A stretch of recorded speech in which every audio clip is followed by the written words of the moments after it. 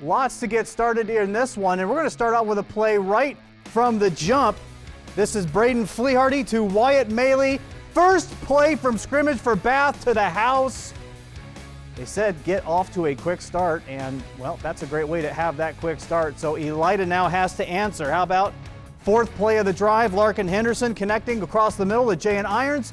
Shows some shifty moves, and he is gone. 69 yards to the house, and that ties this one up at seven apiece. How about some defense from the Elida Bulldogs?